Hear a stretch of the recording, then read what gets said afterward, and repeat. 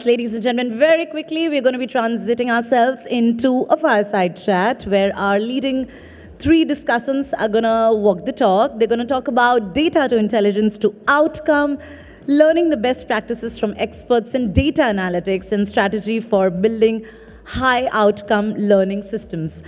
Ladies and gentlemen, I'm all set uh, to invite them because uh, ob- the objective for most companies, you would agree, is to prioritize the strong employee engagement and the company culture, right? So that makes this unmissable, the discussion. Please welcome the co-founder and CEO of Vani.Coach, Ashish Jha, on the stage. One more time with a good round of cheer, everybody.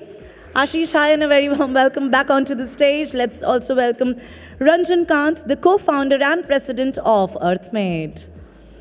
Hi Ranjan, good to be seeing you again and uh, please welcome Anand Tuli, the Vice President, Head Analytics and Decision Sciences, Vedantu. So that's Anand, Ashish, Ranjan, uh, up to the three fine gentlemen to lead the talk and get conversational. Thank you.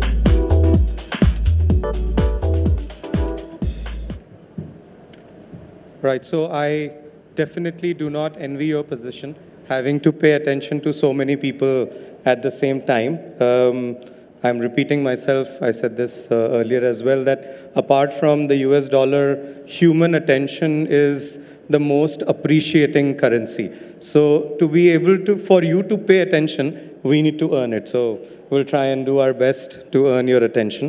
Um, before I begin, I'd like to quickly uh, talk a little bit more about uh, the two gentlemen here. Um, Anand does cutting edge work in using data to find actionable intelligence, especially when his organization is in the space of education technology. So, whether it is about learning effectiveness or it is about finding the right balance of uh, expenditures, many different areas, and uh, that's where we would want to learn from him. That what are some of the insights that we can drive and use in the space of learning. Um, remember, somebody said that uh, each learning team now needs a good analyst and a good marketeer. So you need these two people along with your learning specialist. So Anand would want to listen from you. And Ranjan, um, he's from, he used to work with the Boston Consulting Group. He was the partner data sciences and has now moved to a startup. Uh, Ranjan's organization does cutting edge work in the space of fintech. So what they're doing is going to redefine the way we are thinking about lending and other things. I, that's where my understanding exhausts. So I'd like to begin by asking you both this question that uh, one of our earlier panelists said that there's so much data around and it's at so many places. How do we think about using data to draw intelligence which can be built for better learning outcome? Right. So, uh, so you, usually it's a uh, when when we when we talk about data, everybody gets very very excited about you know how how in the last decade or so the the right usage of data has not only provided uh, great business outcomes, but also great experience outcomes, right? Uh, uh, uh, data as, as, as an element, data as an asset is a very abstract asset, right? Or on its own, if you, if you, if you guys you know, really think of it, it's, it's nothing but bits and bytes stored somewhere, right? The real value of data comes out with respect to how exactly do you make it useful, right? There are, there are multiple ways, there are multiple technologies, and there are multiple processes or loops which uh, hoops which you have to you know kind of jump to be able to get data or, get the value out of that particular data right just to give you a just just to give you a quick uh, perspective with respect to uh, at Vedantu, for example, we have clearly two aspects of data usage. One is towards customer, one is towards business, right? Uh, in both the cases, right, for the students as well as internal stakeholders, right, there are three roles which we primarily play, right. The first one is the enabler role, right. We call it business governance, right. This is, this is to enable teams, leaders, as well as their managers to make the right decisions, right. Usually, uh, all the data-driven intelligence has been proven to be much, much more effective than whatever comes out of, uh, uh, of, of the gut, right? So the data there is used to make the tactical, strategic, as well as operational level decisions on a daily basis, right? The second role which data plays is towards intelligence, right? So the idea here is that data analytics and data sciences as a team, by bringing their capability onto the table to find out the micro cohorts for that example, right? Bring predictions, bring, bring much more preferences and prescriptions onto the table for managers to do their jobs better, right? Again, for the both aspects, the business outcomes aspect as well as experience and learning outcome aspects of it. The third one is the decision sciences and the engines part as we call it, where data analytics and data sciences take leadership position in, in solving critical and usually big hairy big hairy problems, for example, defining learning outcomes and creating learning journeys, right? Uh, which, which, uh, which, are, which are not really possible without, you know, kind of deep intelligence and MLAI and, you know, rest of the technologies, right? So, so that is the role primarily which data analytics and data sciences plays at Vedantu. I believe that answers your question. Thank you, Anand. So Ranjan, uh, in fact, both of you occupy the position of what we would call as an internal customer for people in HR and learning. Um, and you have transitioned to a role where you're building an organization and you need to ensure that the capabilities of different teams are built at the right pace. So as someone who has worn the advisor cap for a very long time for organizations across the globe and now being in the position of an internal customer, how would you want us to think uh, as we move into the next phase of learning? Thanks, Ashish. Thanks, Anand. So, Ashish, you know I am a nerd, right? So, what happened was when I moved from BCG uh, and um, uh, at BCG, we used to work for very large companies, and some of the stuff I saw today is very exciting where uh, human resources in general is headed. Um, we also, even in BCG, we were a thousand person org, right? So, so uh, the human resources was a very um, evolved topic, so as to say, right? But today, uh, the, the company I run, we have around 130 people, which we have built to in two years. I think the first and obvious challenge is to get uh, people excited and join our company. That, that's the, that was the first challenge we faced. And uh, we don't have, we, we didn't have the pedigree or a standing of a, of a org that's where I think the first uh, bit of data science that helped us, we actually figure, uh, we, so we are a, hundred, a bunch of 130 people and we are all, I would call, um, not, not in terms of capability, but highly skilled folks, data scientists, tech, tech, tech geeks, uh, product managers, and things like that. We, we do have a BD team, but, but most of us are tech data science oriented. So the way at least we figured out we needed to build our team was uh, we did some kind of feature engineering on the kind of people, you know, on the kind of roles that people get hired to. And some of the things we found out were very obvious, but, but you know, uh, that helped us be in good stead. One of the things we figured out was thin staffing. Instead of really building a team up front, you know, pushing it up, we would really start with one or two people solving a project, even a department. And that, uh, you know, driven with technology and data would, would be a huge impetus for very pedigreed people to come and join us. That I found was a huge game changer for me in, in terms of who we could hire. In terms of just building the org, as Anand was saying, uh, data informs decisions, informs leaders. I think what is also important is applying some of the cool data science principles which we all hear in marketing, right? Personalization. I saw some personalized learning being talked about today. But but uh, personalization, what is super super cool about personalization is you can create nudges you don't have to be overt about the signals you send out. What are the kind of nudges that different parts of your org need to be excited is very, very cool. You know, uh, whether, whether the, the, the, the, person is looking for, uh, for more active participation, is looking for more leadership. And there are signals if we could build data on is very, very cool. The last thing I think, Ashish, given that I come from a, um, we have a NBFC too, which is a regulated entity.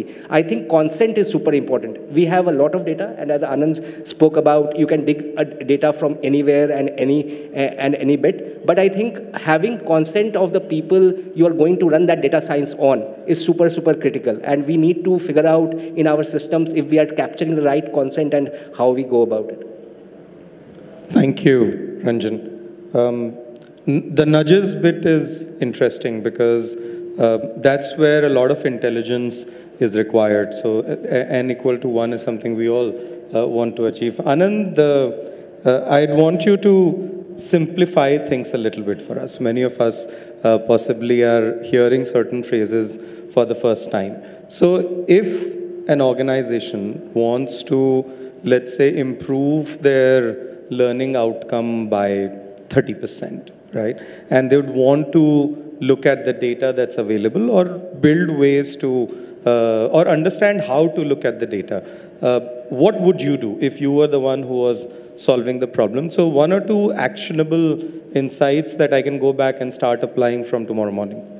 Ashish, if I, if I can just add to your question, right? Yeah. So Anand, we come from very different setups. Your org has a lot of ops as well, which we don't. We have a very small portion. How do you look at different segments? How do you manage that uh, spectrum of from ops to data science people to tech? Uh, that will be very interesting to hear about.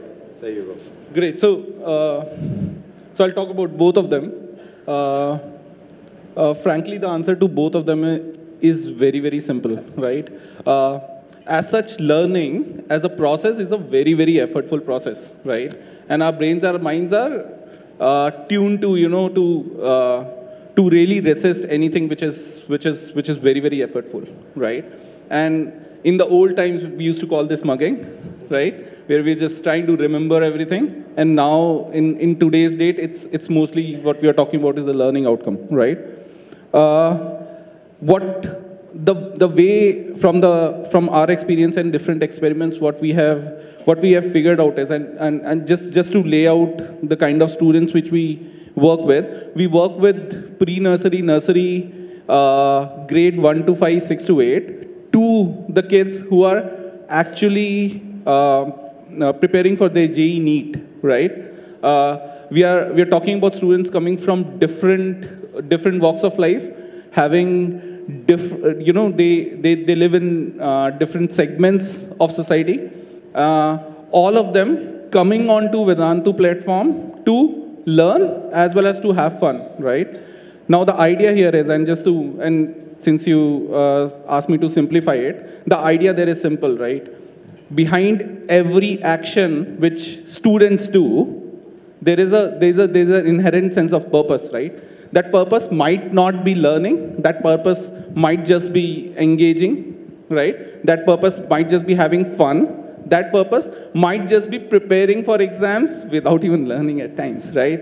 Now, the idea here is, right, in, if, if you would be designing a particular system towards learning outcome and personalized, personalized learning as, as uh, I've been hearing for a while on this platform, the idea is to, the best, best way to figure out what is the inherent purpose, right? What is the learning is, learning is leading to what, right? That inherent purpose gives you a very clear idea with respect to what exactly or what kind of learning a particular student, a particular individual, or a particular professional is looking for, right?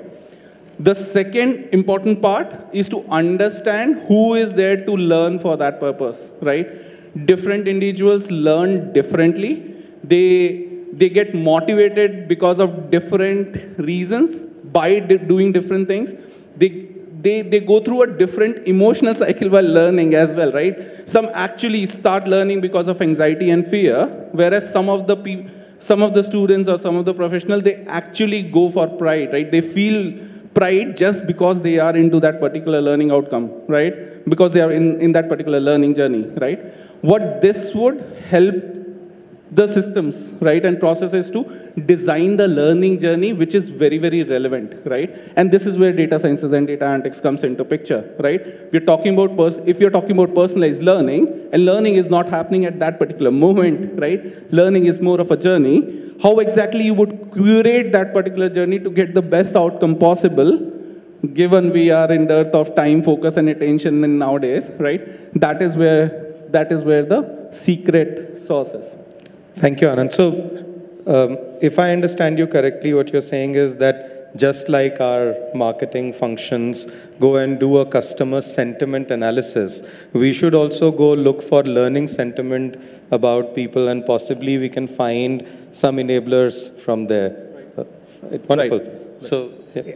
So, um, so I would just uh, pick on what Anand said. So, in marketing, right, when you do customer targeting, that is what data science is one of the biggest use cases are. You first of all create a customer 360. Now, I have seen, and I'm sure all of us have seen multiple job roles, their job components, JDs, but but but I'm not sure if we have run a full-scale data analytics, let's say many of us would be in a, in a company of 10,000 people, Just, and, and many would have come and gone. Just running that, uh, that rule using, using a data science bit to understand what are, what are the, the, the pieces of a job role that are exciting, that, are, that, that become challenging, why do people leave, that whole bit, first of all, compiling that, that will be really, really great. Then the, the next step is optimization, which is another data science term. And the optimization is of two levels. So typically, let's say when, I am trying to, to, um, uh, to provide incentives for a customer base in a certain region, what would I do? I would first of all go and see what is a look-alike region uh, of uh, in, in in my database. So so let's say I'm trying to design an incentive for, for a set of people. So I would look at what are the kind of look-alike people I have in my org with whom I have already interacted.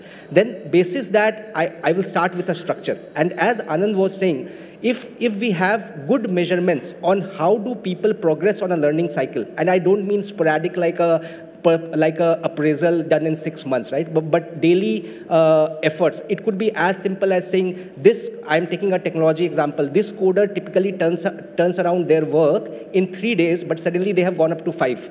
That should be a big signal. So, so then you can optimize the whole incentive process for that person itself. And that will be, and the incentive doesn't have to be money, obviously. It could be as simple as a role enhancement. It could be as simple as giving them a team to lead. It could be as uh, different as teaching them, as letting them have time to, to learn another language in terms of coding, right? So, so those are the kind of things, at least what I aspire to build and see uh, from the from the community and the providers, which we can use in, in, in our org to further uh, learning outcomes.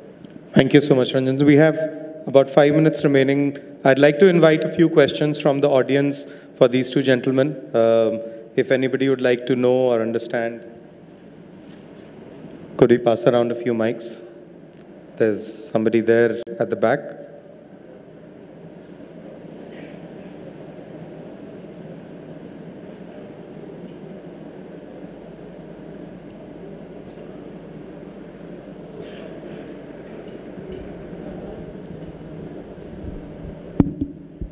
Hello, uh, hello, good afternoon, everybody. My name is Praful Lale.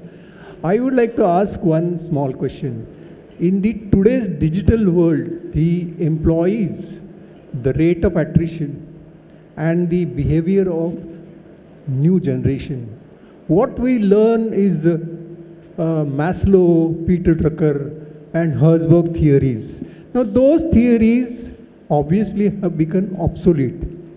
So to introduce new automation along with the digital uh, world and make employees understand the meaning, the intricacy of the HR and IR levels otherwise. These boys, they believe now, new generation believe in high salary with the high potential. They may be having high potential, okay, but retaining or remaining in one organization is their development itself. But what they consider is looking around why they leave the company for a better or better salary. The new generation does do not remain in the same company and the company has to search for another talent. They have to incur a lot of expenses. So, how do we come across and combat with this kind of challenge? Thank you. So, thanks. Uh, I'll take this, right? Uh, uh, from, from an overall perspective, right? So uh, the, the way I look at it like this, right? If, if employees are joining a particular organization, if professionals are joining a particular organization and staying there only for salary, it's uh, uh, the battle was lost way back, right? While hiring itself, right? To be frank, uh, the the idea here is to create more currencies, to create more engagements, uh, to create more hooks, which, which a particular professional looks forward to when he's joining and, you know, uh, you know, kind of continuing with a particular organization, right? Uh, I, I, I look at it a little differently, right? Uh, the way you're saying organizations hire professionals, uh, as per the theory of experience, employees are hiring you for one of their purposes, right? The idea is to understand that purpose well, right? And it could, it could, salary would be one part of it, right? And if it's the only part of it, as I said, battle was lost way back, right? You're just, you're just fighting a lost battle, right? The idea here is to understand, you know, what those motivations are, why are employees hiring you, right? What, how and in which way you are addressing those barriers and you know making those you know that particular growth or move forward as a professional in his life right? And then i believe that it would be much more many more hooks than salaries right? We all have been part of multiple organizations in the past. And believe me any organization which has which has substantially substantially uh, uh, uh, improved the learning and provided the growth of a professional at, holistically, they are the ones has, which, who has the lowest attrition rates, right? So idea is not that money. If you're, if you're only looking at the money, the idea is to maybe you know start looking at things a little differently. You know, in terms of you know why are why are professional hiring you folks to towards their development, right? So, that's interesting. Yes. Sure. So um, uh, I have worked with both Flipkart and a bunch of other e-commerce uh, as, as an employee. So I can tell you in an era where none of them have been able to buy our loyalty, it's tough to expect, uh, you know, the, the, the, generation to be loyal to one org, right? So I think, I think what is important is, as, as uh, Anand was saying, uh, the identification of purpose. But, but again, I would say we have to look back at the data of the kind of roles we offer and the, and the kind of competitive roles which are there. To, to, be, to be fair, uh, sir, given your, your question, a startup like mine should have no employee for more than three months. But, but, we have been, but, but we have been able to retain a lot of folks simply because I think one of the things very early we figured out is the kind of people we hire.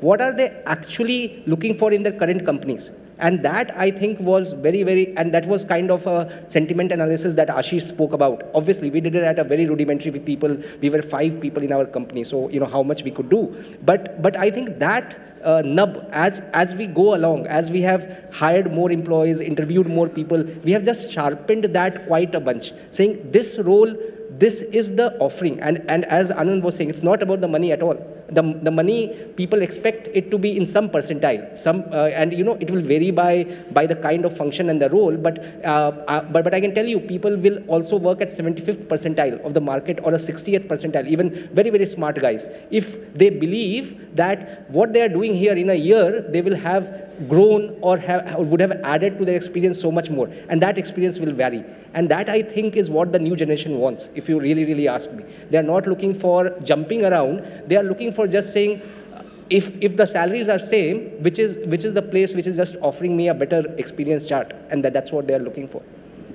Thank you so much, Ranjan. Thank you so much, Anand, for your time. I know the timer here tells me that we are one minute over time.